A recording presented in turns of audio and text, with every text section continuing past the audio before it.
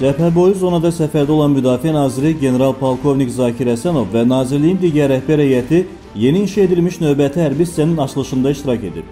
Müdafiə Nazirliyinin rəhbər heyəti yeni istifadəyə verilən hərbi hissədə olaraq əskər yeməkxanasına, əskər yataqxanasına, silah və ideoloji otaqlara, ərzaq və meyvə tərəvəz anbarlarına baxış keçirib.